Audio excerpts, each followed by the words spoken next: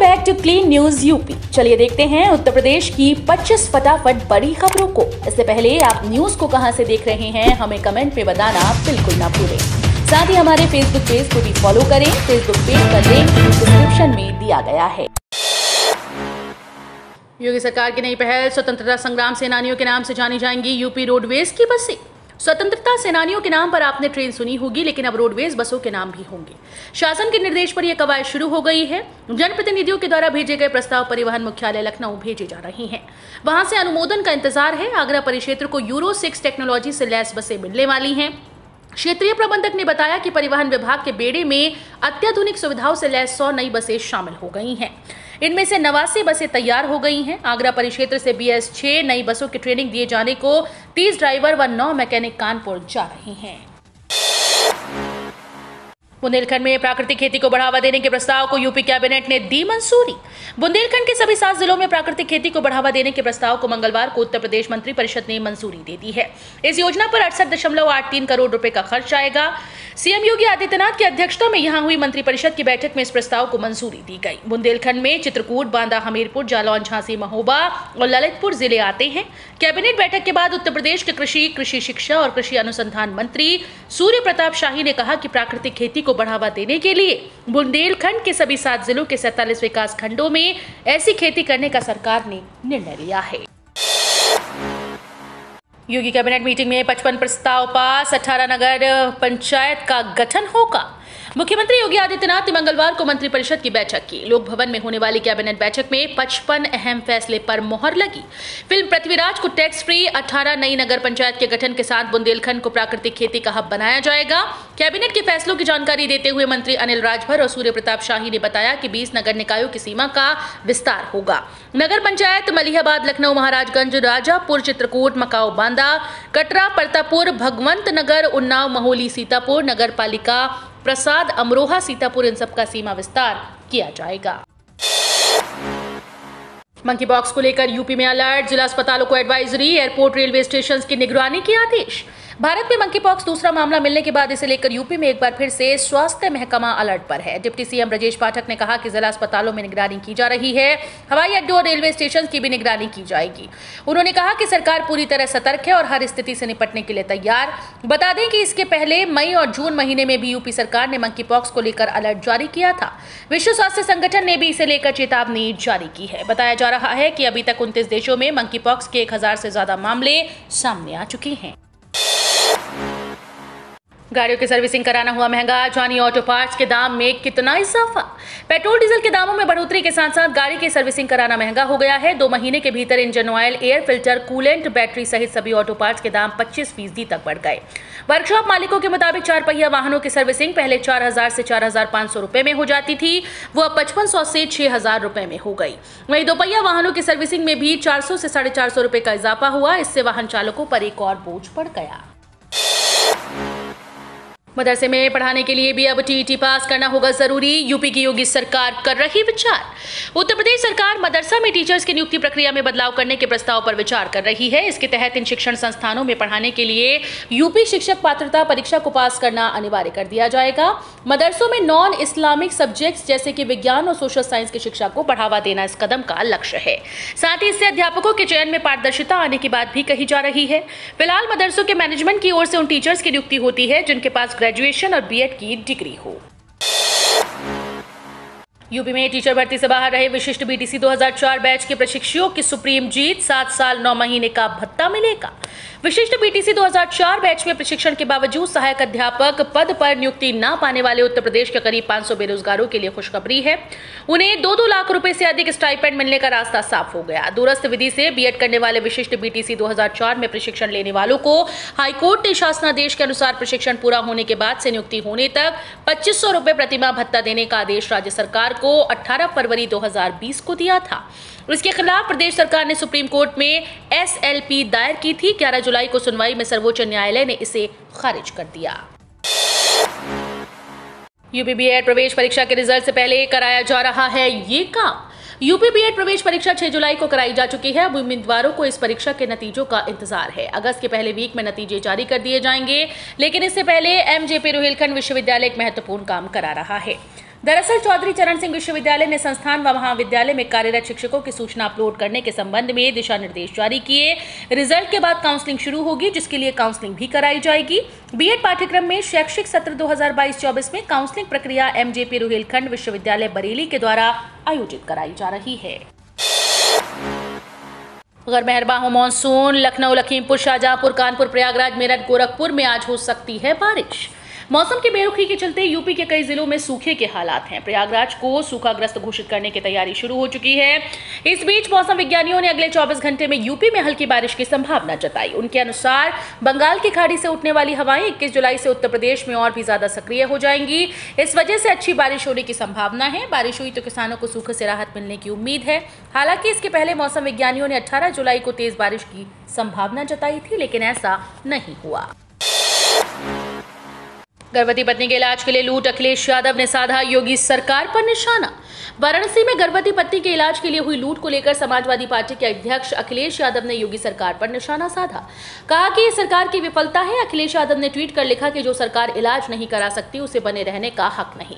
दरअसल, वाराणसी के रोहनिया में ज्वेलरी की दुकान से शुक्रवार को सर्राफा कारोबारी की आँख में मिर्ची पाउडर डालकर नब्बे के सोने के गहने की लूट हुई थी। पुलिस लूट को अंजाम देने वाले प्रद्युम्न पटेल उर्फ़ कोली को गिरफ़्तार किया तो पता चला कि उसकी पत्नी गर्भवती है। पुलिस की पूछताछ में बताया कि इलाज के लिए पैसे नहीं थे, पैसे की तंगी थी, इसलिए घटना को अंजाम दिया। डीडीयू ने दुगनी की फ़ीस कॉलेजेस के प्रिंसिपल और प्रबंधक हुए खिलाफ, बोले यही हाल रहा तो लटकेगा ताला। दीनदयाल उपाध्याय गोरखपुर विश्वविद्यालय ने अपने यहाँ और अपने से संबद्ध कॉलेजेस में नए सत्र से स्नातक की पढ़ाई महँगी कर दी है। फ़ीस में करीब दो गुना तक इजाफा हो गया। पिछले दो साल कोरोना के चलते खस्ता हालत मध्य और निम्न वर्गीय परिवार और मानसून के इंतज़ार में। खेतों में धान की रोपाई, सूखते देखने को मजबूर किसानों के बेटा बेटी बढ़ी हुई फ़ीस पर पाएँगे या नहीं, इसे लेकर संशय था। इस संशय ने यूनिवर्सिटी से संबद्ध निजी कॉलेजेस के प्रबंधकों और प्राचार्यों की चिंता बढ़ा दी। एक प्रबंधक ने तो यहाँ तक कह दिया कि यदि यही हाल रहा तो कॉलेजेस पर ताला लटकने में देर नहीं लगेगी। यूपी में परमानेंट लाइसेंस के लिए होगा ऑटोमेटेड ड्राइविंग टेस्ट नहीं हो सकेगा खेल। यूपी में आने वाले समय में परमानेंट लाइसेंस के लिए पूरी तरह से ऑटोमेटेड ड्राइविंग टेस्ट होगा। इससे ड्राइविंग टेस्ट में पास फेल करने के खेल पर रोक लगेगी, क्योंकि ये पूरी तरह से ऑटोमेटिक होगा। ये जानकारी परिवहन राज्य मंत्री दयाशंकर सिंह ने मंगलवार को आयोजित प्रेस कॉन्फ्रेंस में दी। जनवरी 2023 में होगा। यूपी का पहला ग्लोबल इन्वेस्टर समेट जाने योगी सरकार का प्लान यूपी की योगी सरकार पहली बार अंतर्राष्ट्रीय स्तर का निवेशक सम्मेलन अगले साल जनवरी में कराने जा रही है। लखनऊ में होने वाले ग्लोबल इन्वेस्टर समिट के लिए योगी सरकार ज़बरदस्त प्लानिंग कर रही है। इसके ज़रिए दस लाख करोड़ का निवेश लाने का लक्ष्य रखा गया है। मुख्यमंत्री योगी आदित्यनाथ ने मंगलवार को उच्च स्तरीय बैठक में समिट के आयोजन का ऐलान करते हुए कहा कि अब इसके लिए युद्ध स्तर की तैयारियाँ शुरू कर दी जाए। उन्होंने सुझाव दिया कि इसे कम से कम तीन दिन तक होना चाहिए। एक दिन केवल एमएसएमई के लिए समर्पित होगा। इसे प्रवासी भारतीय दिवस के आसपास आयोजित किया जाएगा तो और भी बेहतर होगा। यूपी में हर कदम फूक कर रख रही बीजेपी, मिशन 2024 के लिए विजय अभियान के साथ विपक्ष की घेराबंदी। सीएम योगी आदित्यनाथ की अगुवाई में भाजपा मिशन 2024 की तैयारी में जुटी है और यूपी में अपना हर कदम फूक फूक कर रख रही है। हर मोर्चे पर घेराबंदी देखकर ऐसा लग रहा है जैसे बीजेपी विपक्ष को एक भी मौका देने को तैयार नहीं। प्रदेश में इस साल विधानसभा चुनाव से शुरू हुआ भाजपा का विजय अभियान लगातार जारी है। स्थानीय निकाय कोटे के विधान परिषद सीट या राज्यसभा और एमएलसी चुनाव भाजपा हर मोर्चे पर सफल रही है। आज़ादी के पहले से चली आ रही प्रक्रिया अग्निपथ योजना में जाति विवाद पर बोले राजनाथ सिंह। अग्निपथ योजना के तहत जाति प्रमाण पत्र मांगने को लेकर उठे सवालों पर अब रक्षा मंत्री राजनाथ सिंह खुद सामने आए हैं। उन्होंने इन सवालों को महज अफवाह बताया। राजनाथ सिंह ने कहा, सैन्य भर्ती की प्रक्रिया में कोई बदलाव नहीं किया गया। पुरानी प्रक्रिया को जारी रखा गया है। उन्होंने कहा कि ये प्रक्रिया आज़ादी के पहले से चली आ रही है। दरअसल, अग्निपथ योजना के लिए जाति व धर्म प्रमाण पत्र मांगे जाने पर सियासत शुरू हो गई थी। भाजपा सांसद वरुण गांधी, आप सांसद संजय सिंह व जदयू नेता उपेंद्र कुशवाहा ने सैन्य भर्ती में जाति प्रमाण पत्र मांगे जाने पर सवाल खड़े किए। एक साइन के लिए महीने भर से रुका है लखनऊ में करोड़ों का विकास काम। स्मार्ट सिटी की सूची शुमार उत्तर प्रदेश की राजधानी लखनऊ में एक साइन के बिना महीने भर से करोड़ों का विकास कार्य रुका हुआ है। पार्षदों का आरोप है कि करीब एक माह पहले सदन से पास बजट जारी नहीं किया जा रहा। मेयर संयुक्ता भाटिया और नगर आयुक्त दस्तखत नहीं कर रहे। वहीं मेयर इस पूरे मामले पर चुप्पी साध रखी है। वहीं चर्चा है कि बजट में प्रावधान न होने के बावजूद पच्चीस करोड़ रुपए पहले भुगतान हो जाना इसका कारण है। लखनऊ के डॉक्टर्स ने व्हाट्सएप पर भेजा इस्तीफा। बजट जान हैरान रह जाएँगे आप। यूपी की राजधानी लखनऊ में कुछ दिनों पहले खून के अवैध कारोबार का खुलासा हुआ था। इस धंधे में शामिल रहे डॉक्टर्स ने खुद को बचाने के लिए तिगड़म लगाना शुरू कर दिया। पंजीकरण के वक्त जो डॉक्टर अपने लाइसेंस लगा रहे थे, अब वे छापेमारी के बाद ब्लड बैंकों से पल्ला झाड़ रहे हैं।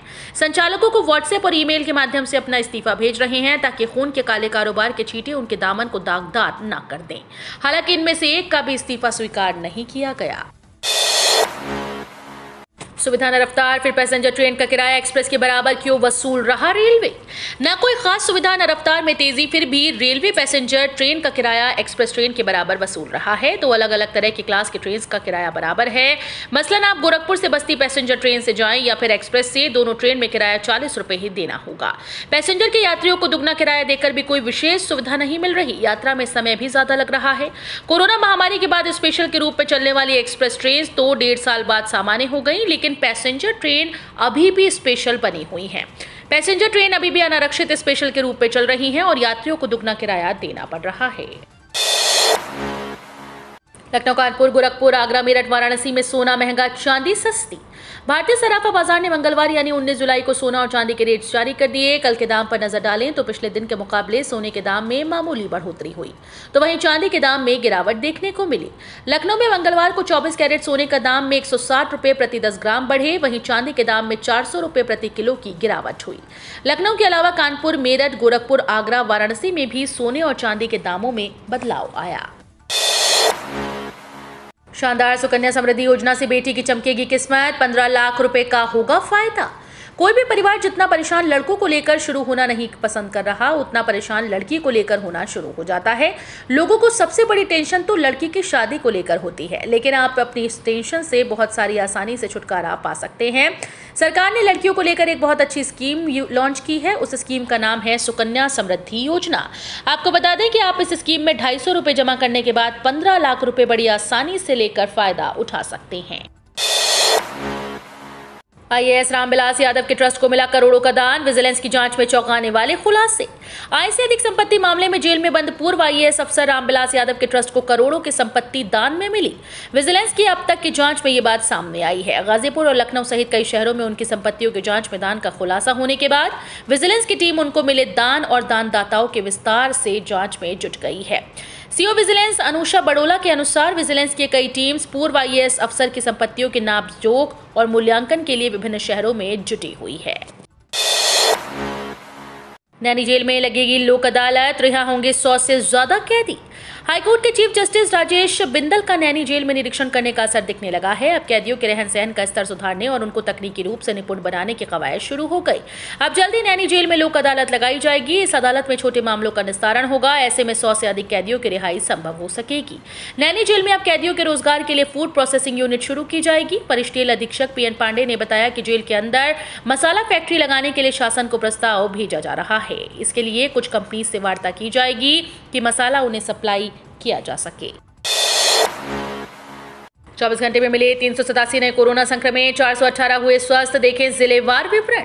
उत्तर प्रदेश में पिछले 24 घंटे में तीन सौ सतासी नए संक्रमित मिले, इस दौरान स्वस्थ होने वालों की संख्या ज़्यादा रही है। पिछले 24 घंटे में चार सौ अठारह लोगों ने कोरोना को हराने में सफलता पाई, प्रदेश में इस समय सक्रिय मामलों की संख्या दो है। स्वास्थ्य विभाग लगातार सभी लोगों से सावधानी बरतने और टीका लगवाने की अपील कर रहा है। संक्रमण के मामले में राजधानी लखनऊ पहले और नोएडा दूसरे स्थान पर है। लखनऊ में तिरपन और नोएडा में अड़तालीस संक्रमित मिले, लखनऊ में सक्रिय मामलों की संख्या 516 हो गई। देश के खास पचहत्तर स्टेशन में सिटी स्टेशन भी शामिल। तेईस जुलाई तक लगेगी प्रदर्शनी।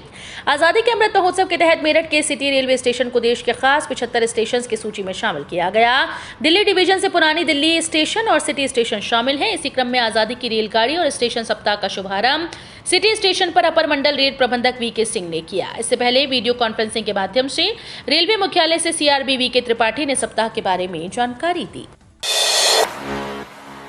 अगले साल तक पूरी करनी है यूपी पुलिस कांस्टेबल भर्ती। जाने कब जारी हो सकते हैं आवेदन फॉर्म। उत्तर प्रदेश पुलिस भर्ती और प्रोन्नति बोर्ड कभी भी छब्बीस हज़ार पदों के लिए यूपी पुलिस कांस्टेबल भर्ती 2022 की आवेदन प्रक्रिया शुरू कर सकता है। दरअसल मुख्यमंत्री योगी आदित्यनाथ ने निर्देश दिया कि पुलिस विभाग में चालीस हज़ार पदों पर भर्ती 2023 दिसंबर तक पूरी हो जानी चाहिए। इस लिहाज से पुलिस बोर्ड ने अब भर्ती की तैयारी करनी शुरू कर दी। हो सकता है जुलाई या अगस्त में भर्ती का विज्ञापन भी जारी कर दिया जाए। दरअसल कांस्टेबल भर्ती के लिए पहले भर्ती निकलेगी, फिर आवेदन किए जाएँगे। आवेदन के बाद लिखित परीक्षा और फिर पीईटी और पीएसटी के बाद फाइनल परिणाम घोषित होंगे। तो ये थी आज की 25 फटाफट बड़ी खबरें। अगर आपको न्यूज़ पसंद आई हो तो वीडियो को लाइक और शेयर ज़रूर करें। धन्यवाद।